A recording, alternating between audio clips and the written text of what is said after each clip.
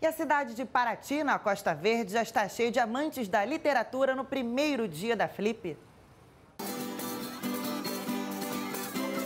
No meio da principal praça do Centro Histórico de Paraty, os olhos infantis folheiam com curiosidade as páginas de um livro. Esse é o clima da cidade que recebe até domingo a Flip. Para a criançada, o momento é de alegria.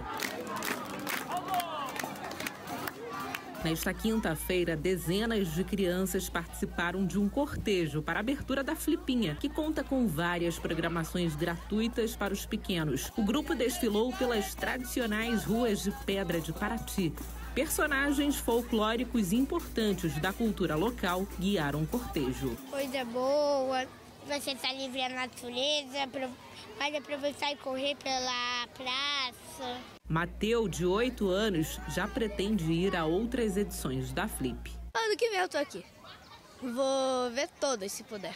O evento engloba as mais diferentes manifestações culturais e enriquece o cotidiano da população. A organização do cortejo foi feita pela própria comunidade, que olha com carinho a inclusão das crianças no evento Dessa forma, a cultura enraizada na cidade é repassada para as próximas gerações. O trabalho delas de olhar para a própria cultura traz a ela um pertencimento ao lugar de onde elas estão.